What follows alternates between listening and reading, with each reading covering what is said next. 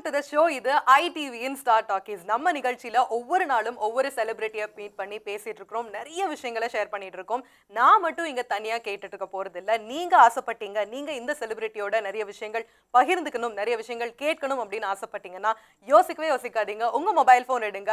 One eight double zero one zero double three double three five hundred toll free நம்பருக்கு call பண்ணீங்க அப்படின்னா இங்க வந்திருக்கிற ஒவ்வொரு செலிபிரிட்டி கூட நீங்க பேசலாம். ஸோ அந்த வகையில இன்னைக்கான நிகழ்ச்சியில நம்ம யாரை சந்திக்க போறோம் அப்படின்னா வம்சம் திரைப்படத்துல இசையமைச்ச இசையமைப்பாளர் தாஜ் நூர் சார் தான். ஹலோ சார் வணக்கம். வணக்கம் எப்படி இருக்கீங்க? நல்லா இருக்கிறோம். ஓகே சோ வம்சம் திரைப்படத்துல நீங்க இசையமைச்சிருக்காங்க முதல்ல எனக்கு கேட்ட உடனே ஸ்ட்ரைக் ஆன ஒரு விஷயம் எப்படின்னா மியூசிக் அப்படின்றது வந்து எவ்வளவோ ஃபீல்ஸ் இருக்கு பட் மியூசிக் அப்படின்ற ஃபீல்ட் முதல்ல நீங்க சூஸ் பண்ணதுக்கான காரணம் என்ன? ஆக்சுவலாக அப்படி நான் மியூசிக் சூஸ் பண்ணி வரல இந்த இதுக்கு. நான் ரஹ்மான் சாரோட ஒரு கிட்டத்தட்ட ஃபோர்டீன் இயர்ஸ் அவரோட நான் ஒர்க் பண்ணேன். ஓகே பட் எனக்கு அந்த மியூசிக் கேட்குற அந்த ஒரு நியூ திங் வந்து எனக்கு ரொம்ப இன்ட்ரெஸ்டடாக இருந்தேன். சின்ன வயசுலேருந்தே ஒரு சவுண்டு கேட்குறது நான் பாட்டு ஒரு நார்மலாக கேட்காம ரொம்ப ஹைஃபையாக கேட்குற ஒரு பழக்கம் இருந்தது. ஸோ அந்த டைமில் ரஹ்மான் சாரோட ஒரு நைன்டிஸ் அந்த டைமில் ஒரு வழக்கமான பாடல் கேட்டுட்டு இருந்தோம் இல்லையா? அதுலேருந்து திடீர்னு வேறு ஒரு காலத்துக்கு சவுண்டிங் மாறிச்சு. ஸோ அப்போது என்னன்றதை கொஞ்சம் ஆராய்ச்சி ரொம்ப ஆழமாக கவனிச்சிட்டு இருக்கும்போது தான் எனக்கு அதில் ரொம்ப ஈடுபாடு இருந்தது ஸோ எப்படி இது வருதுன்றத நான் நிறைய அனலைஸ் பண்ணேன். நான் பேசிக்காக ஒரு கம்ப்யூட்டர் இன்ஜினியர் ஸோ மல்டிமீடியான்றது அந்த காலகட்டம் அப்போ தான் ஃபஸ்ட்டு இது வெளிவந்த ஒரு காலம்.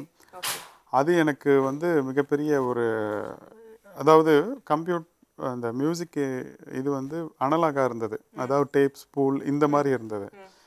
ஸோ நைன்டி ஃபைவ் அந்த ரேஞ்சில் தான் வந்து டிஜிட்டலாக கன்வெர்ட் ஆச்சு. தட் மீன் அந்த கம்ப்யூட்டர் பேஸ்டு அப்போது நான் அதில் ரொம்ப ஸ்பெஷலைஸ்டாக இருந்தேன். அதை படிச்சிருந்தேன். அப்போது எனக்கு ரஹ்மான் சார்கிட்ட சேர்றதுக்கு வாய்ப்பு கிடைச்சது எப்படி சார் கம்ப்யூட்டர் இன்ஜினியரா நீங்க ஒர்க் பண்ணிட்டு இருந்தீங்க அப்படின்னு சொல்றீங்க. ஃபீல்டே வேற. திடீர்னு மியூசிக் இல்லை computer engineer mean multimedia okay அப்போ தான் வந்து சவுண்டை ரெக்கார்ட் பண்ணுறது கம்ப்யூட்டரில் ஓகே ஓகே ஸோ அது அந்த இது மல்டிமீடியான்றது சவுண்டு வீடியோஸ் அந்த அதெல்லாம் இப்போது எவ்வளோ பெரிய வளர்ச்சி இருக்குது பட் அப்போ வந்த பிகினிங் அப்போ தான் ஒரு கம்ப்யூட்டரில் ரெக்கார்டிங் பண்ணி சவுண்டை கேட்க முடியுன்றது பெரிய அதிசயமாக இருந்தது. ஸோ முதல் முறை ரொம்ப இதாக சொல்லுவேன். நான் ஸ்டெர்லிங் கம்ப்யூட்டர்ஸ்ன்ற ஒரு நிறுவனத்தில் ஒர்க் பண்ணேன்.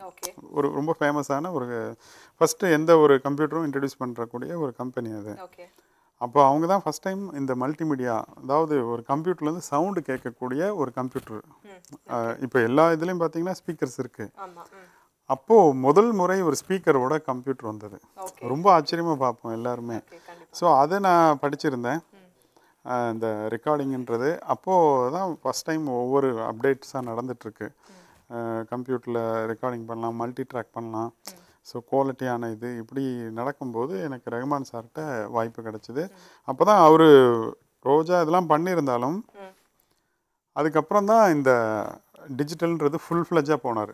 நான் போனதுக்கப்புறம் தான் ஸோ அப்போது அந்த கம்ப்யூட்டர்லாம் கிட்டத்தட்ட பார்த்தீங்கன்னா எண்பது லட்சம் ஒரு எண்பது லட்சம் இருக்கும் ஒரு கம்ப்யூட்டர்.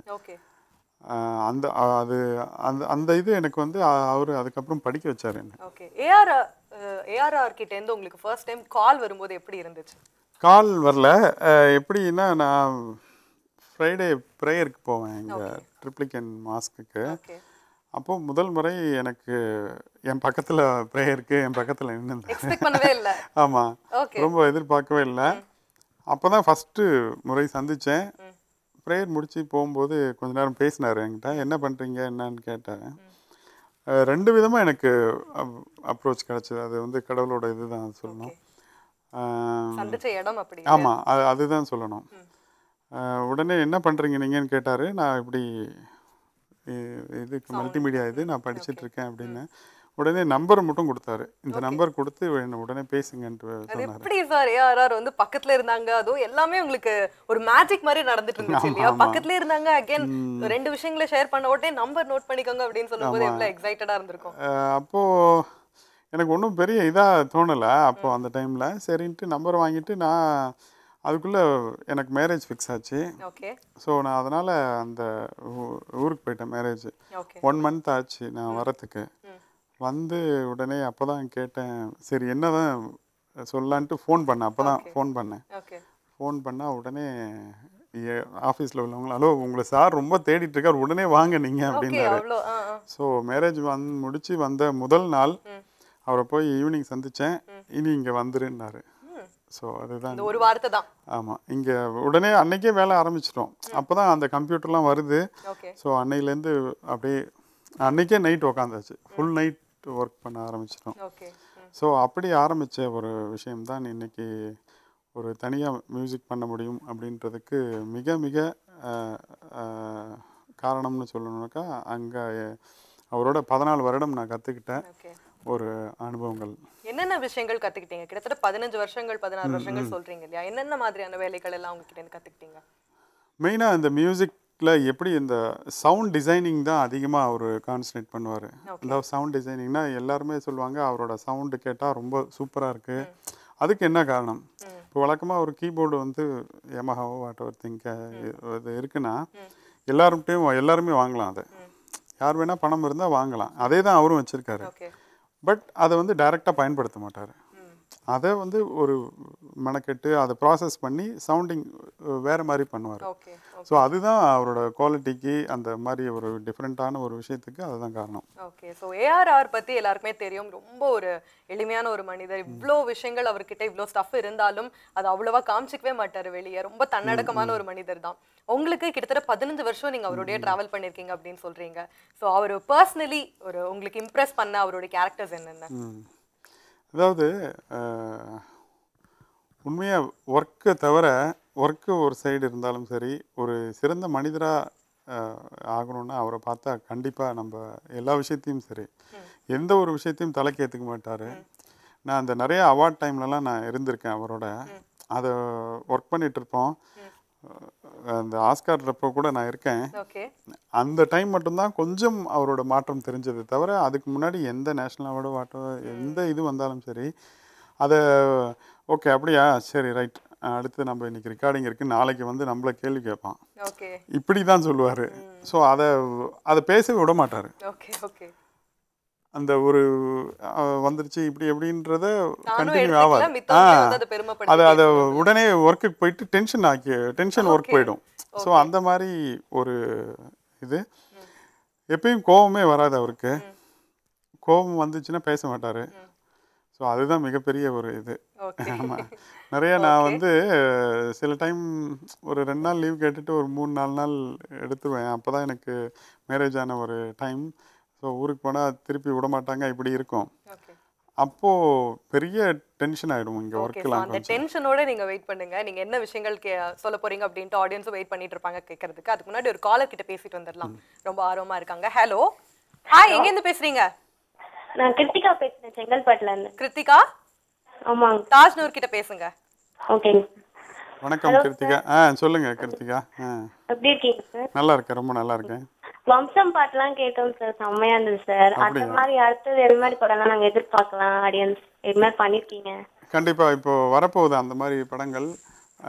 நாலஞ்சு படம் பண்ணிட்டு இருக்கேன் அதில் சொல்லப்போனால் புது வம்சம்னு ஒரு படம் பண்ணிட்டு இருக்கேன் ஓகே மேபி ஸோ அதுவும் ஒரு முழுக்க முழுக்க ஒரு கிராமிய கதை. ரொம்ப நல்லா யுகபாரதி அவர்கள் எழுதியிருக்காங்க. ஒரு இன்றைக்கி ஒரு ட்ரெண்ட் இருக்கு இல்லையா? ஒரு சாஃப்ட் மியூசிக் அந்த மாதிரியான ஒரு இது பண்ணியிருக்கேன்.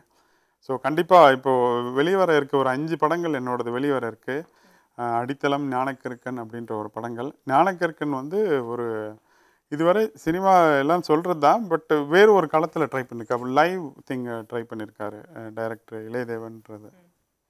Okay Krithika thank you so much for calling okay so சொல்லிட்டு இருந்தீங்க ஏதோ ஒரு டென்ஷனில் இருந்தீங்க அப்போது ஏஆர்ஆர் பத்தி பேசிட்டு இருந்தோம் இல்லையா. அப்போ ஆமாம் அதாவது ஊருக்கு போயிட்டு வந்தனாக்கா கொஞ்சம் லேட் ஆயிடுச்சுன்னா ஒரு டென்ஷன் இருக்கும். அப்போ என்னால் சில வேலைகள் நின்று போயிருக்கும் அங்கே. அது சில விஷயம் நான் தான் வச்சுட்டு போயிருப்பேன். எங்கே இருக்குன்னு தெரியாது. அதனாலே வரும்போது செம்ம கோவத்தில் இருப்பார். அப்போது சரி அவ்வளோதான் நம்ம என்ன பண்ணுறதுன்ற மாதிரி இருக்கும்போது திடீர்னு பார்த்தா சிரிச்சிடுவார். ஸோ அப்போ அந்த சிரிப்புக்கு என்ன இதுன்னா நம்ம இந்த வேலையை ஒரு நார்மலாக செய்யறது வந்து பத்து மடங்கு அதிகமாக செய்யணுன்ற மாதிரி ஆகிடும் எங்களுக்கு. அது ஒரு பெரிய பயமாக போயிடும் அந்த இது. ஸோ அந்த மாதிரி நிறைய விஷயங்கள் அவர்கிட்ட. அப்புறம் அதே மாதிரி ஃபைவ் டைம்ஸ் ப்ரேயர் ஸோ அதில் வந்து நீ இது ப்ரே ஒழுங்காக இருந்தனாக்கா எல்லா வேலையும் ஒழுங்காக நடந்துருன்ற மாதிரி அவரோட கருத்து. சார் அதுக்கு முன்னாடி உடனே ஒரு காலர் வந்துட்டாங்க. பேசிட்டு நம்ம உங்களோட எக்ஸ்பீரியன்ஸ் எல்லாத்தையும் பகிர்ந்துக்கலாம். ஹலோ ஹலோ ஹாய் எங்கேருந்து பேசுறீங்க? ஜெய் கணேஷ் சி- செங்கல்பட்டுலேருந்து பேசுகிறேன் ஜெய் கணேஷ் ஆ. ஓகே சார் கிட்ட பேசுங்க. ஜெயகணேஷ் சொல்லுங்கள் ஆ, வம்சம் பாட்டில் உங்களுக்கு பிடிச்ச பாட்டுங்க சார்? உங்கள் மனசில் பாட்டு? எனக்கு அந்த என்னெஞ்ச என்னெஞ்சன்றது பாட்டு ரொம்ப பிடிக்கும். ஆ, ஆ எனக்கு அந்த பாட்டு ரொம்ப பிடிக்கும். ஆமாவா? சரி சரி சரி. Okay. Thank you so much for calling thank you அந்த பாட்டு மட்டும் உங்களுக்கு எதனால பிடிக்கும்? எல்லாமே நீங்க தான் இசையமைச்சிருக்கீங்க. அந்த பாட்டு மட்டும்? கேட்டதுனால தான் சொன்னேன். எல்லா பாட்டும் தான் பிடிக்கும்.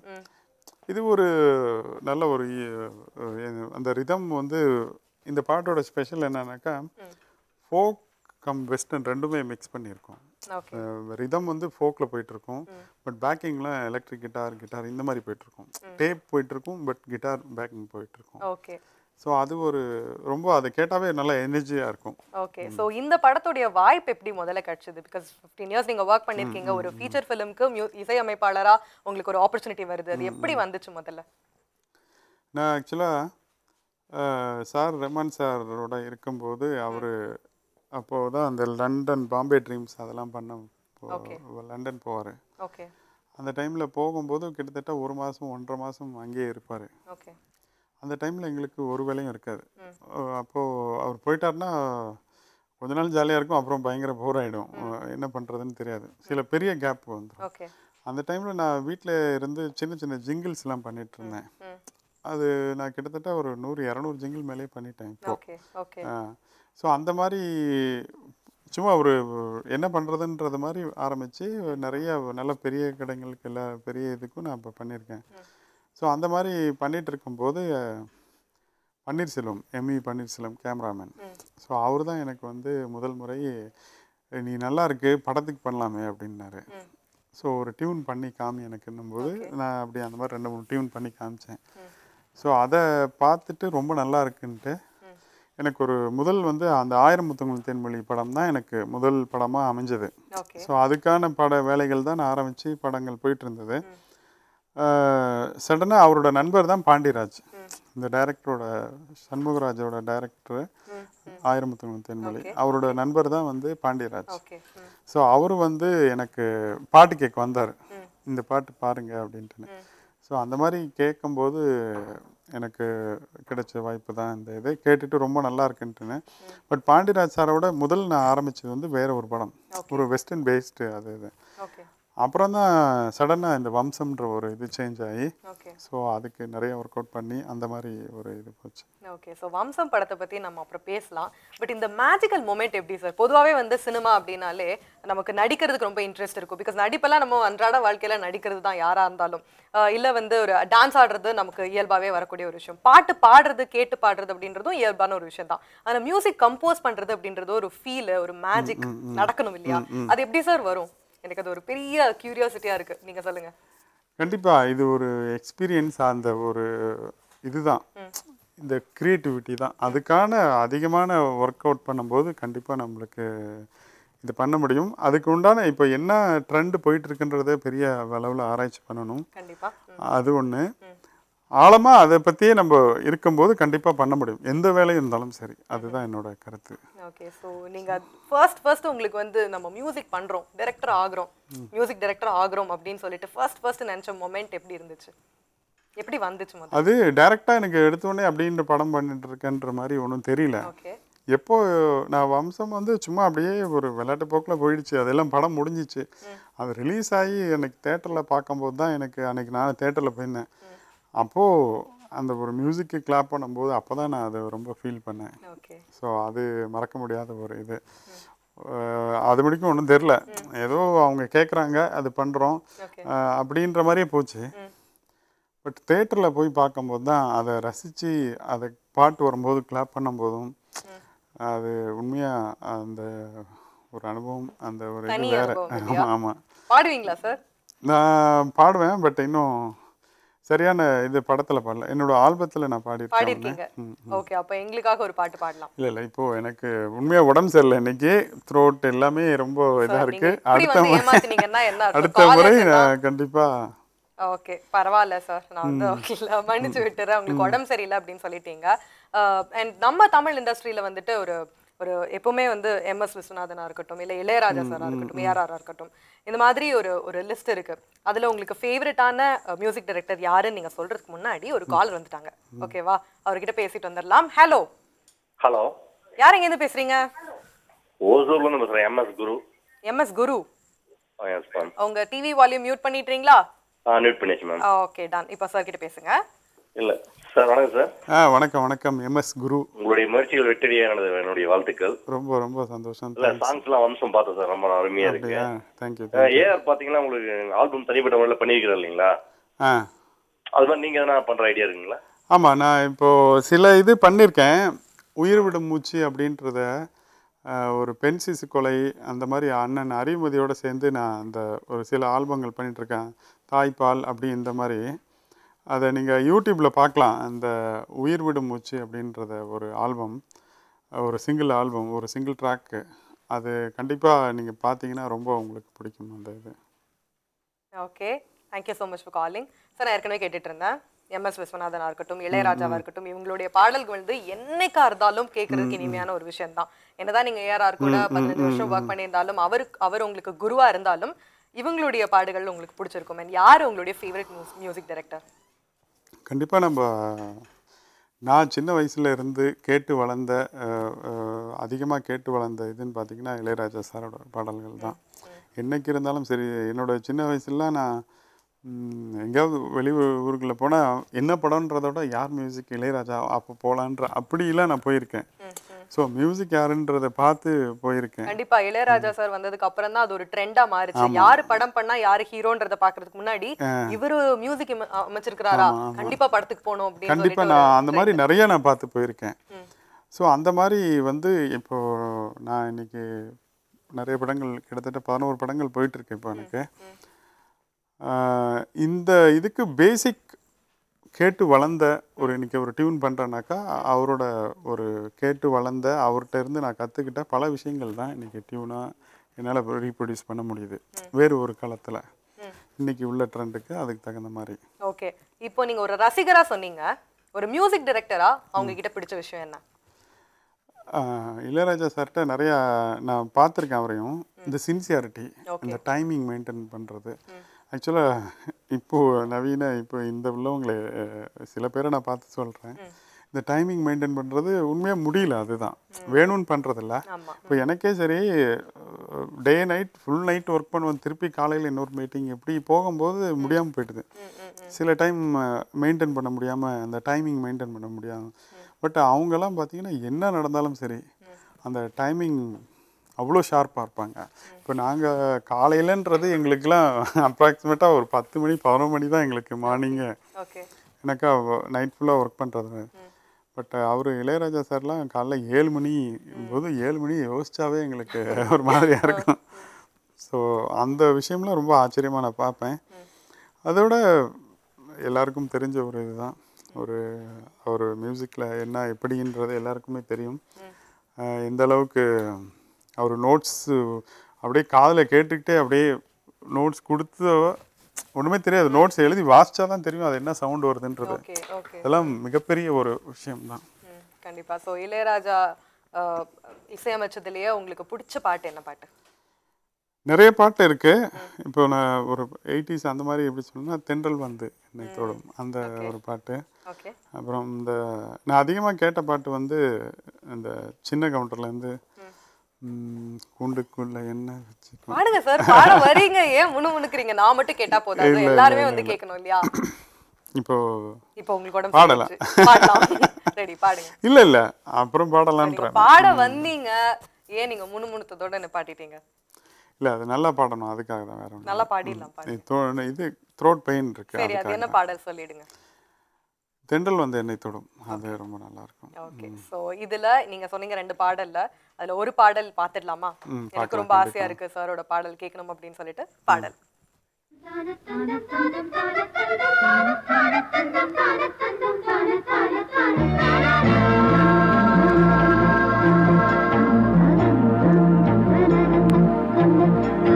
தந்தரனதானதானதானதானதான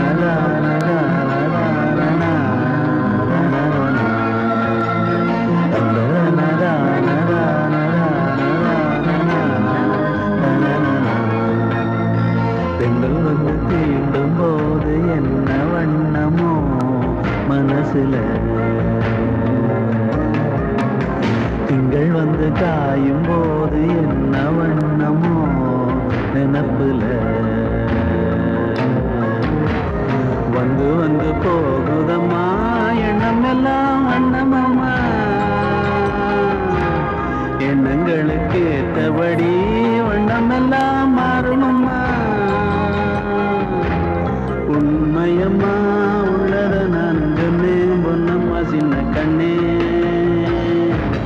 தென்றல் வந்து தீண்டும் போது என்ன வண்ணமோ மனசுல? திங்கள் வந்து காயும் போது என்ன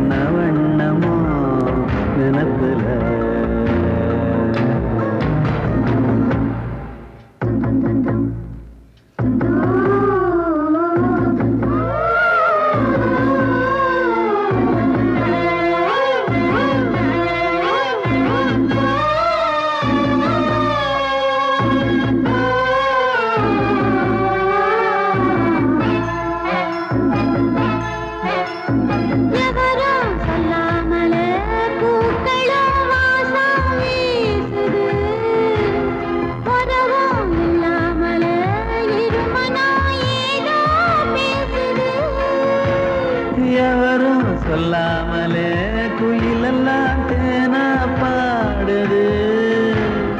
எதுவும் இல்லாமலே மனசெல்லாம் இனிப்பாய்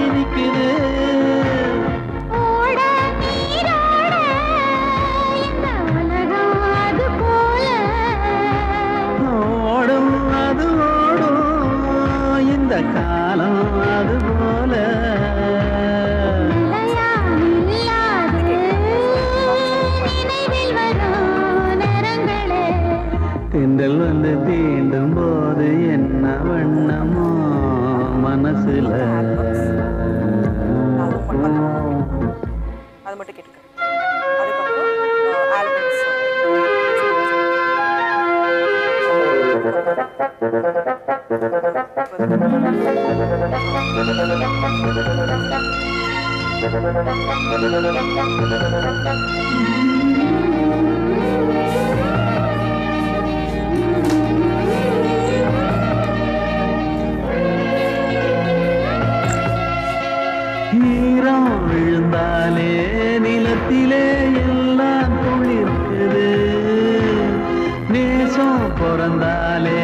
உடம்பெல்லாம் ஏனோ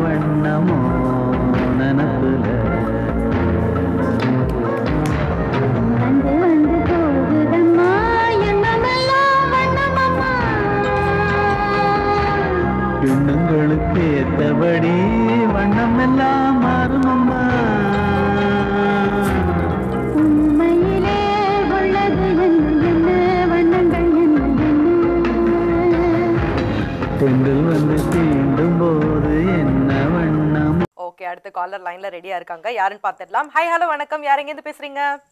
ஹலோ நான் இவாஞ்சலின் ஊட்டிலேருந்து பேசுகிறேன் ஊட்டிலேருந்து ஊட்டிலேருந்து இவாஞ்சலின். இவாஞ்சலின். ஓகே சார் கிட்ட பேசுங்க. ஹலோ ஆ வணக்கம். சொல்லுங்க. சார் எப்படி இருக்கீங்க? நல்லா இருக்கேன். நீங்க எப்படி இருக்கீங்க? நான் ரொம்ப நல்லா இருக்கேன். ஓகே ஓகே நீங்க எந்த மாதிரி ஜானர்ல கம்போஸ் பண்ண ரொம்ப இன்ட்ரெஸ்ட் ஃபோக் வெஸ்டர்ன் மெலடி அந்த மாதிரி. அஹ், அப்படின்னு இல்லை. மியூசிக் டைரக்டர்னாக்கா எல்லா வேலைகளும் பண்ணணும். பட் எனக்கு அடைஞ்ச எனக்கு வந்த படங்கள் எல்லாமே பார்த்தீங்கன்னா அதிகமாக ஃபோக் ஜெனர் தான் அதிகமாக வந்திருக்கு. உங்களுக்கு இப்போ- என்ன மாதிரி இருக்கணும்னு இஷ்டம்? ரொம்ப ஆசைப்படுறீங்க?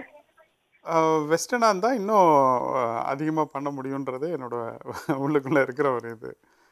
ஒரு ஆசையை சொல்லியிருக்காருன்னு நினைக்கிறேன். அடுத்த டிரெக்டர்ஸ்லாம் வெஸ்டர்ன் சாங்ஸ் கேட்டு வரணும்னு என்னோட வாழ்த்துக்கள். ஓகே சார் நான் கேட்டுட்டு இருந்தேன் வம்சம் படம் வந்து இருக்கிறதுலே நீங்க பண்ணதுலேயே வந்து பிக் பட்ஜெட் மூவி இல்லையா? அந்த படம் இசையமைச்சதுக்கு அப்புறமா ஏஆர்ஆர் வந்து கண்டிப்பா உங்களுக்கு ஃபீட்பேக் கொடுத்துருப்பாங்க. A Guru as a well wisher இவ்வளவு வருஷம் நீங்க அவங்களோட ஒர்க் பண்ணிருக்கீங்க. ஸோ அவரோட ஃபீட்பேக் என்னவா இருந்துச்சு? ஆக்சுவலாக அந்த படத்துக்கு அவர் இந்த ஆடியோ லான்ச்சுக்கு வரதா இருந்தது. பட் அன்ஃபார்ச்சுனேட்லி அவர் வெளிநாடு போயிட்டதுனால வர முடியல. ஓகே வந்தவொடனே ரொம்ப அவளை நான் ரொம்ப நேரம் வெயிட் பண்ணிட்டு இருந்தேன் பட் அவர் வரல. அப்போ வேற ஒர்க்கில் இருந்தார். அப்புறம் நான் சிடிஸ் மட்டும் வச்சுட்டு போயிருந்தேன். கேட்டுட்டார். ஃபுல்லாகவே கேட்டுட்டு அப்புறம் அடுத்த நாள் தான் பார்த்தேன். பார்த்துட்டு அந்த இந்த சாங் ரொம்ப நல்லா பண்ணியிருக்கேன் அப்படின்னாரு. அந்த என் இது மருதாணி போல. ஸோ அதுதான் எனக்கு மிகப்பெரிய ஒரு பூஸ்ட் அவர் சொன்னது. அவர் எப்பயுமே யாருக்குமே ஒரு இதே கொடுக்க மாட்டாரு. எந்த குட் அப்படின்னு சும்மா சிம்பிளி சொல்லிடுவாரு. பட் அன்னைக்கு அந்த சாங் பர்டிகுலராக சொன்னது வந்து எனக்கு பெரிய ஒரு இது. கண்டிப்பா. ஆடியன்ஸ் மக்கள் வந்து பார்த்துட்டு சொல்றதுக்கும் ஒரு வெல்விஷர் பதினஞ்சு வருஷமா ஒரு குருவா நீங்க மதிச்சிட்டு இருக்கிற ஒரு மனுஷர் சொல்றதுக்கும் பயங்கர டிஃபரன்ஸ் இருக்கு இல்லையா? கண்டிப்பாக ஓகே சோ வம்சம் திரைப்படத்துக்கு அப்புறமா உங்களுடைய கரியர் எப்படி இருந்துச்சு? அதுக்கு இம்மீடியட்டாக எத்தன்ற படம் ரிலீஸ் ஆச்சு? விமல் நடித்த அது ஒரு டிஃப்ரெண்ட் ஜேனரு அதாவது ஒரு காமெடி ட்ராக் அது. சாங்ஸ் பார்த்தீங்கன்னா யூஸ்வலி ஒரு லவ் சாங்ஸ் இல்லை ரொமான்ஸ் சம்திங் ஒரு ஃபீல் சேட் சாங் இந்த மாதிரி தான் இருக்கும். பட் அதில் எனக்கு வாய்ப்பு கிடைச்சது வேறு மாதிரியான ஒரு களம் எப்படின்னா கடன் வாங்குறது பணம் பற்றியான ஒரு இது. கடன் வாங்கினா தப்பு இல்லை அப்படின்ற மாதிரி ஒரு ஃபீலோட ஒரு அதுல வந்து கடனை கொடுத்த நண்பா நீ பெஸ்ட் பெஸ்ட் தான்டா. அதை உடனே திருப்பி கேட்டா கொஞ்சம் கஷ்டம் தான்டா. அப்படின்ற மாதிரி ஸோ பணம் அந்த மாதிரியான ஒரு பாடல்கள் பண்ணியிருந்தேன். அந்த இதுக்கு ரொம்ப கொஞ்சம் டிஃப்ரெண்ட் சேனர் அது கொஞ்சம் முயற்சி எடுத்து வேற மாதிரி பண்ணியிருந்தேன். அப்புறம் பணம் கடன் வாங்கிட்டு ஒருத்தன் படுற கஷ்டங்கள். அது ரொம்ப பெரிய அளவில் எனக்கு அந்த இது வேல்முருகன் பாடியிருந்தார் காலையில் கண் விழிச்சா கடன் கடத்துவன் துரத்துறான். இங்கே போனால் துரத்துறான் அங்கே போனால் அந்த மாதிரி ஆரம்பிக்கிற ஒரு பாட்டு. ஸோ எல்லா பாடலுமே அதில் அதை நோக்கியான ஒரு பாடலாக இருக்கும். ஓகே நம்ம நிகழ்ச்சியில ஏற்கனவே ஒரு காலர் கேட்டிருந்தாங்க. உங்களுக்கு ஆல்பம்ஸ்லாம் பண்றதுக்கு இன்ட்ரெஸ்ட் இருக்கா அப்படின்னு சொல்லிட்டு. அதுக்கு நீங்களும் பதில் சொல்லியிருந்தீங்க. ஸோ ஆல்பம்ஸ்ல உங்களுக்கு இசை அமைச்சிட்டு இருந்தாலும் ஒரு ஃபீச்சர் ஃபிலிம்க்கு இசை அமைச்சிட்டு இருந்தாலும் மீன்வைல் நீங்க ஆல்பம்ஸ்லயே ஒர்க் பண்ணணும் அப்படின்ற இன்ட்ரெஸ்ட் எங்கேருந்து ஆரம்பிச்சது? எனக்கு ஆக்சுவலாக இந்த ஒரு என்ன ஒர்க் பண்ணிட்டு இருந்தாலும் சரி இந்த மாதிரி ஃபிலிம் இது. ஒரு சின்ன சோஷியல் சர்வீஸ் இந்த மாதிரி பண்ணும்போது ஒரு பெரிய நிறைவு இருக்கும். ஸோ அந்த மாதிரி நான் நல்லூர் வட்டம் அப்படின்ற ஒரு அமைப்பு வழியாக நிறையா சின்ன சின்ன நம்மளால் என்ன முடியுதோ அந்த மாதிரி பாடல்களாகவும் நான் கொடுத்துருக்கேன். ஒரு விழிப்புணர்ச்சி பாடல்களாக இந்த மாதிரி நிறையா சேர்ந்துருக்கு. அங்கங்கே பெரிய அளவில் அதை ரீச் பண்ணியிருக்கு. ஸ்கூல் சாங்ஸ் வந்து ஆனுவல் டேக்கு வந்து ஒரு சினிமா பாட்டு போட்டு டான்ஸ் ஆடி அதில் பெரிய விருப்பம் இல்லை எனக்கு. அது சேம் பீட் அதே பட் uh, ஒரு கருத்துள்ள பாடல் பண்ணலான்ட்டு நிறைய நான் பாடல்லாம் பண்ணியிருக்கேன் அந்த மாதிரி. அந்த மாதிரி பண்ணிகிட்டு இருக்கும்போது அறிவுமதி சாரோட ஒரு பழக்கம் ஏற்பட்டது. அப்போது நான் பண்ண உயிர் விடும் மூச்சின்ற ஒரு இது பெண் சிசு கொலை பற்றி ஒரு வயிற்றில் இருக்கிற சி சிறு க குழந்தை அதாவது கரு அது வந்து பேசினா எப்படி இருக்குன்ற ஒரு கற்பனையில் அவர் சாரே பேசியிருந்தார். அதுக்கு ஒரு பேக்கிங் பண்ணியிருந்தேன். அது வந்து உண்மையாக சொல்லப்போனால் அதை கண்டிப்பாக யூடியூப்பில் இருக்க உயிர் விடும் மூச்சுன்னு எல்லாரும் பார்க்கலாம்.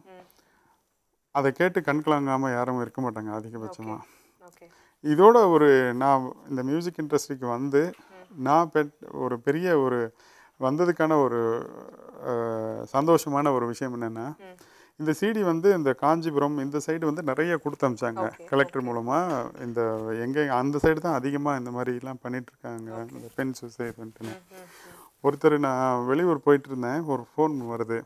கலெக்டர் ஆஃபீஸ்லேருந்து அங்கேருந்து லிங்க் கொடுத்து எனக்கு ஃபோன் வருது. ஒருத்தர் பேசணும்னு பேசுங்கன்னு. அவர் கண்ணீர் மல்க என்கிட்ட பேசினது யா இந்த சிடி கேட்டுட்டு எனக்கு ஆல்ரெடி மூணு பொன் குழந்தைங்க.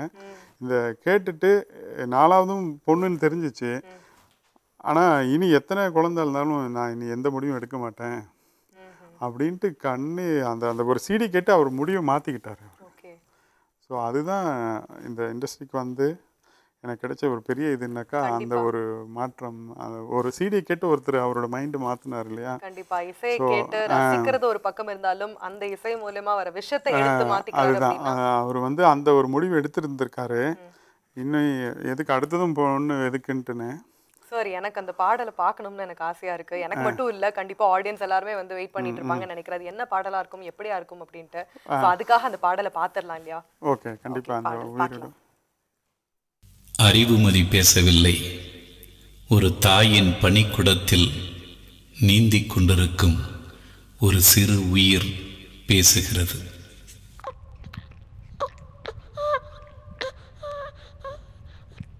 உயிர் விடும் மூச்சு.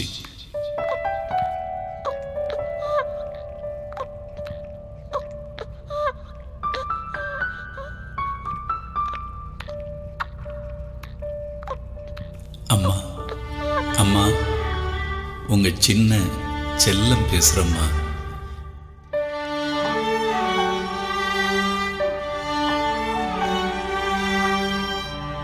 பெரியக்கா எங்கம்மா? பள்ளிக்கூடம் போயிருக்காங்களா? சின்னக்கா அவங்களுமா? ரெண்டு பேருமே என் மேலே எவ்வளவு அன்பாக இருக்காங்க. நீங்கள் படுத்திருக்கும்போது அந்த ரெண்டு பேரும் வந்து எனக்காக உங்கள் வயத்தில் முத்தம் கொடுக்கும்போது எவ்வளவு கூசுது தெரியுமா?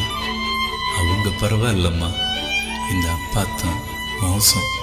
முத்தம் கொடுக்குறேன்னு சொல்லி மீசையால் குத்த குத்த எவ்வளவு வலிக்குது தெரியுமா? நான் வெளியில் வந்ததும் முத முத்தம் உங்களுக்கு தம்மா.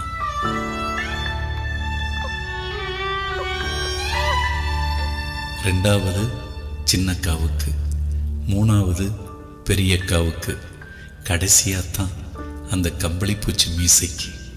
ஐயோ அம்மா அம்மா அப்பா கிட்ட சொல்லிடாதீங்க அடிச்சிட போகிறாங்க அக்கா அங்கே எப்படிம்மா இருப்பாங்க? உங்களை மாதிரியா? அப்பா மாதிரியா?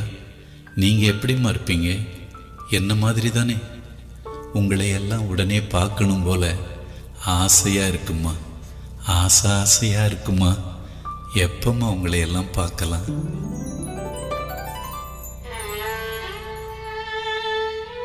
இன்னும் ஏழு மாதம் கழிச்சா? ஐயோ அவ்வளவு நாள் எப்படி தாங்குவேன்? மெதுவா மெதுவா உட்காருமா கண்ணாடி குடுவைக்குள்ள மீன் மாதிரி. உங்கள் வயிற்றுக்குள்ள நான் என்னம்மா? தொலைக்காட்சியா?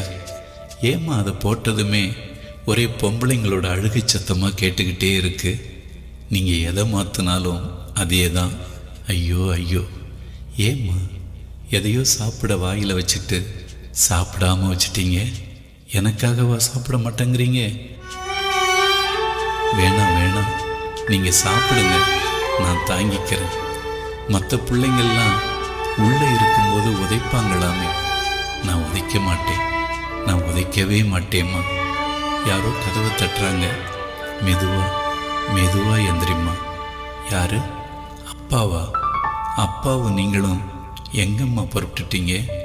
மருத்துவமனைக்கா. எனக்காகவா? எனக்கென்ன? நான் நல்லாத்தானே இருக்கேன். என்னம்மா? மருத்துவர் என்னென்னவோ கருவிகள் வச்சு பார்க்குறாரு பார்த்துட்டாரா? அப்பா தப்பிச்சிட்டேன். உங்களோட இதய துடிப்பு ஒலியில் மருத்துவர் என்ன பேசுறாருங்கிறதே காதுல சரியா விழலம்மா. என்ன? நான் என்ன குழந்தைன்னு தெரிஞ்சிடுச்சா? நான் பெண் குழந்தையா? ஏ பெரியக்கா மாதிரி சின்னக்கா மாதிரி நானும் உங்களுக்கு செல்ல குழந்தை இல்லம்மா. என்னம்மா? அப்பாவும் நீங்களும் அமைதியா இருக்கீங்க. ஏம்மா? ஏம்மா? அம்மா ஏம்மா பேச மாட்டேங்கிறீங்க? அப்பா என்னம்மா சொல்றாங்க? ரெண்டு பெண் குழந்தைங்க இருக்காங்க. மூணாவது ஆணாக இருக்கணுமேன்னு தான். இது இது வேணாங்க.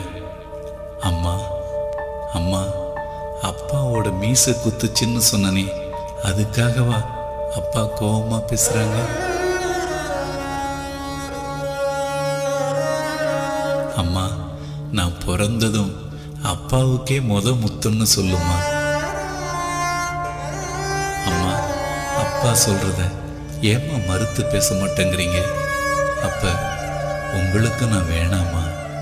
அப்படி நான் என்னம்மா தப்பு செஞ்சேன்? அம்மா அப்படியே அடிக்கலான்னு நினைச்சா கூட கொஞ்சம் பொறுங்கம்மா. நான் பிறந்து வந்ததும் உங்க முகத்தை உங்கள் அழகு முகத்தை ஒரே ஒரு தடவை ஆசையாக பார்த்துக்கிறேன். அக்காங்களை அப்பாவை ஆசை ஆசையாக ஒரே ஒரு தடவை பார்த்துக்கிறேம்மா. வானம் பூமி மரம் குயில் எல்லாத்தையும் ஒரே ஒரு முறை கடைசி கடைசியாக பார்த்து முடிஞ்சதும் கள்ளிப்பாலோ பாலில் நெல் கலந்தோ கொடுங்கம்மா குடிச்சுடுறேன். எங்கம்மா? எங்கம்மா போறீங்க? ஓ எல்லாம் தயாராகிடுச்சா மருத்துவர் ஐயா என்னை கொல்ல நீங்கள் தயாராயிட்டீங்க. பரவாயில்லையா? ஆனால் ஒரே ஒரு வேண்டுதல். என்னை கொல்லும்போது எங்கள் அம்மாவுக்கு என் ஆசை அம்மாவுக்கு என்னால் எந்த ஒரு சின்ன வலியும் இல்லாமல் என்னை கொன்னுடுங்க ஐயா அது அது போதும் எனக்கு. அது போதும். அம்மா அம்மா.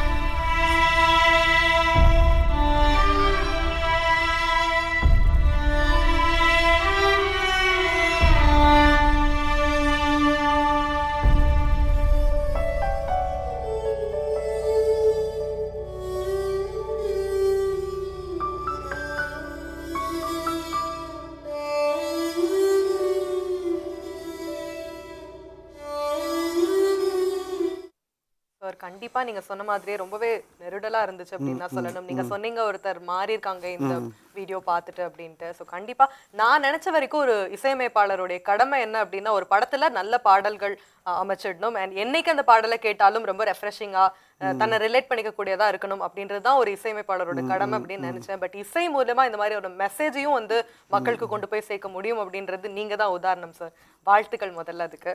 தொடர்ந்து இந்த மாதிரி நிறைய ஆல்பம்ஸ் இந்த மாதிரி சோஷியல் அவேர்னஸ் கொடுக்குற மாதிரியான ஆல்பம்ஸ் பண்ணணும்னு என்னுடைய வாழ்த்துக்கள் சார் அடுத்தது வந்து அவருடைய அண்ணன் அறிவுமதியோட தாய்ப்பால் அப்படின்ற ஒரு ஆல்பம் பண்ணிட்டு இருக்கேன் இது வந்து உலக தமிழ் குழந்தைகளுக்கான ஒரு album.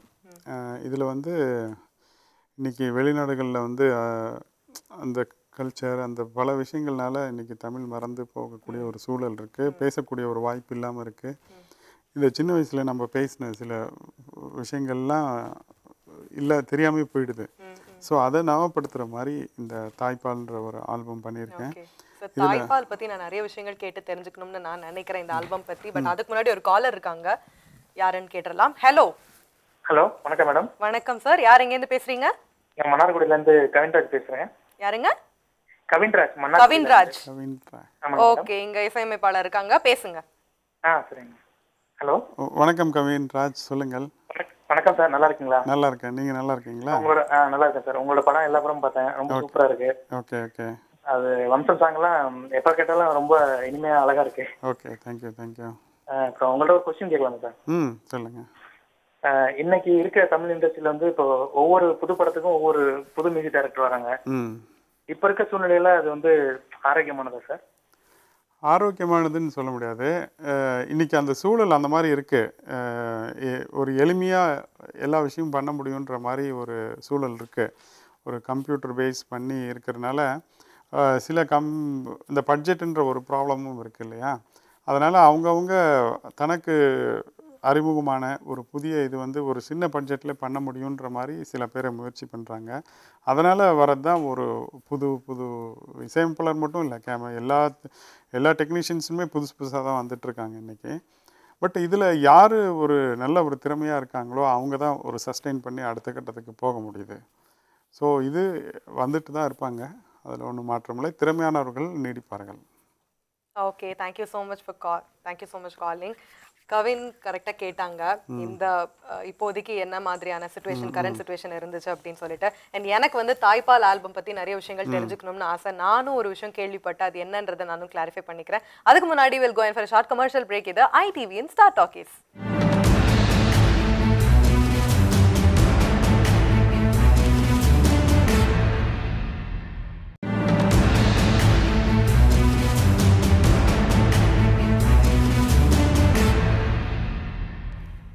welcome back to the show இது ஐடிவிஎன் ஸ்டார் டாக்கீஸ் ஓகே இன்னைக்கு நம்ம நிகழ்ச்சியில தாஜ் நூர் இசையமைப்பாளர் கூட தான் நம்ம பேசிட்டு இருக்கோம். சார் உங்களுக்கு உடம்பு சரியில்லைன்னு சொன்னீங்க.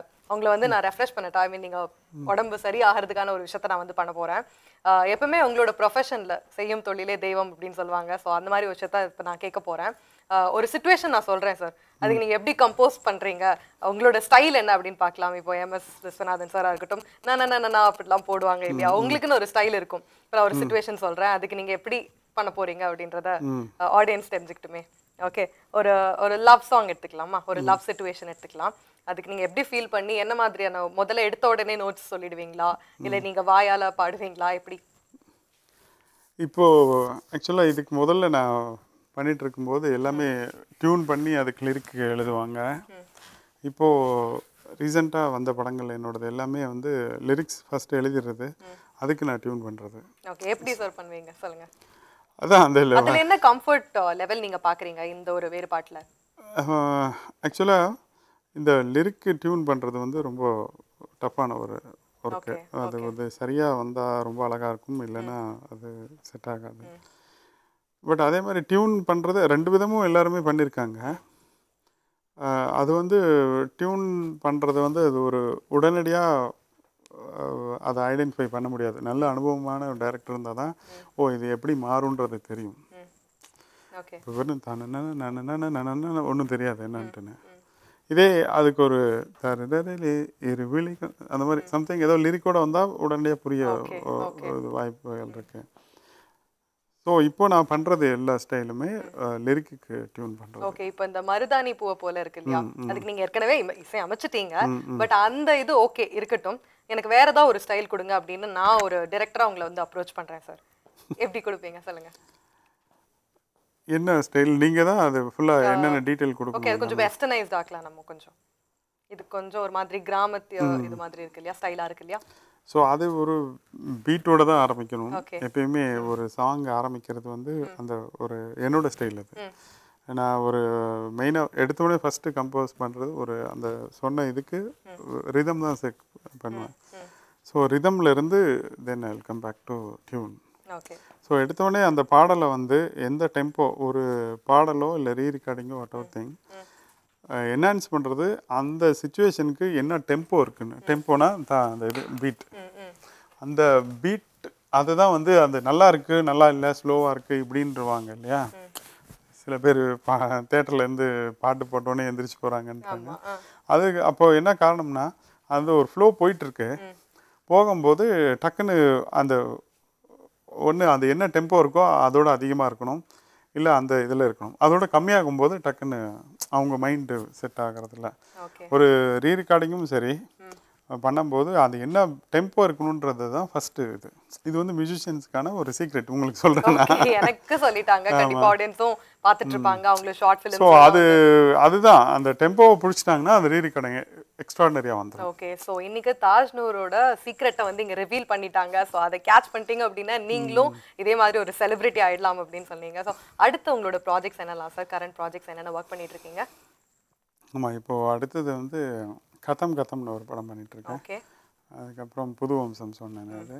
அப்புறம் வேளச்சேரின்ட்டு ஒரு படம். இதில் வந்து இந்த பேங்க் வேளச்சேரியில் ஒரு பேங்க் ராபரி நடந்து அது என்கவுண்டர் பண்ணாங்க இல்லையா? ஸோ அந்த அந்த கதை. அது வந்து சரத்குமார் அவர்கள் என்கவுண்டர் ஸ்பெஷலிஸ்ட். Okay, அந்த மாதிரி ஒரு படம் வேளச்சேரின்னு போயிட்டுருக்கேன். அது இல்லாமல் பா விஜய் அவரோட ஆரஞ்சு தேவதை அப்படின்ற ஒரு. நல்ல ஒரு அப்புறம் பதிமூணாம் பக்கம் பார்க்க அப்படின்ற ஒரு த்ரில்லர் மூவி அதுவும் இப்போ ஒரு ரிலீஸ் ஆக போகுது உடனடியாக இது வந்து ஆர்ஆர் மெயினாக ஆர்ஆர் தான் இந்த படத்துக்கு. ஒரு நல்ல ஒரு சமயமாக இந்த மாதிரி ஒரு படம் வந்ததில்ல அதான் ஒரு புக்கை படித்தா அவங்க இறந்துருவாங்க அந்த மாதிரி. ஒரு ஹாரர் இது. இப்போ. அது அந்த ரீ ரெக்கார்டிங் பண்ணும்போதே வாசிக்கிறவங்கலாம் கொஞ்சம் அப்படியே ஒரு மாதிரியாக தான் இருப்பாங்க தனியாக உட்கார மாட்டாங்க. காலையிலே பண்ணுவோம் சார் இப்போ வேணாம். ஸோ அந்த மாதிரி ஒரு படம் ஒரு புது அனுபவம் அந்த இது. ஃபுல் அண்ட் ஃபுல் ரொம்ப ஃபஸ்ட் டைம் நான் பண்ணுறேன் அந்த மாதிரி ஒரு ஹாரர் இது. அது முழுக்க முழுக்க அந்த ரீ ரெக்கார்டிங் பொறுத்து தான் அந்த படமே. ஒரு சின்ன இதுதான் இருக்கும் பட் சவுண்டில் வந்து பயப்படுத்தணும். அந்த மாதிரியான ஒரு இது. அதுக்கப்புறம் பொதுவும் வேளச்சேரி கதம் கதம் இளமை காலங்கள் அப்படின்ற ஒரு படம். ஸோ வந்துட்டுருக்கு. இது இல்லாமல் நான் இன்னொரு விஷயம் சொல்லணும். பாரதி ராஜா சாரோட முதல் மரியாதைன்ற ஒரு சீரியல் வந்திருக்கும். அந்த இதுக்கு ஃபஸ்ட்டு டைட்டில் இது நான் தான் மியூசிக் பண்ணியிருக்கேன் okay okay first Ilaiyaraaja sir பண்ணியிருந்தார். அவர் முதல் இதுக்கு. ரெண்டாவதுக்கு ஜிவி பண்ணியிருந்தாரு. இப்போ மூணாவது எனக்கு வாய்ப்பு கிடைச்சது. ஓகே ஸோ கங்க்ராச்சுலேஷன் அது வந்து மறக்க முடியாத அனுபவம். என்னோட அவர் பாரதி ராஜா சார் கிட்டத்தட்ட ஒரு பத்து நாள் வந்திருந்தார் கம்போசிங்க்கு என்னோட ஸ்டுடியோக்கே வந்து ரொம்ப இப்படி ஸ்பீடாக பண்ணுறது அவர் சொன்னது வார்த்தை தான் அது. இவ்வளோ ஸ்பீடாக நீ பண்ணுவேன்னு நான் எதிர்பார்க்கவே இல்லை அப்படின்ற மாதிரி சொன்னது. அது ரொம்ப சந்தோஷமாக இருந்தது. அவர் ஒரு மேடையில் சொன்னது உன்னை பார்த்தா ஃபோக் பண்ணுறது எப்படி நீ வளர்ந்தது எல்லாமே ஒரு சிட்டி இது. ஃபோக் எப்படி வந்ததுன்ற எனக்கு ரொம்ப ஆச்சரியமாக இருக்குன்ற மாதிரி சொன்னார் ஸோ இதெல்லாம் வந்து ஒரு பெரிய ஓகே சார் வாழ்த்துக்கள். உங்களுடைய சாங்ஸா இருக்கட்டும் ஆல்பம்ஸா இருக்கட்டும் எல்லாமே வந்து ரொம்ப பிக் சக்சஸ் கொடுக்கணும் அப்படின்ட்டு ஐடிவி சார்பா வாழ்த்துக்கள் தெரிவிச்சுக்கிறேன். And இவ்வளோ நேரம் நிறைய விஷயங்கள் சோஷியல் அவேர்னஸ்க்கான விஷயங்கள் எல்லாத்தையுமே நீங்க எங்க கூட ஷேர் பண்ணிக்கிட்டீங்க. Thank you so much for coming sir. Okay so இன்னைக்கு நம்ம இசையமைப்பாளர் தாஜ்னூரோட நிறைய விஷயங்கள் ஷேர் பண்ணிக்கிட்டோம். மீண்டும் நாளைக்கு வேற ஒரு செலிபிரிட்டியோட நான் உங்களை வந்து சந்திக்கிறேன். அண்டல் பை ஃப்ரம் ராஜி இது ஐடிவியின் ஸ்டார் டாக்கீஸ்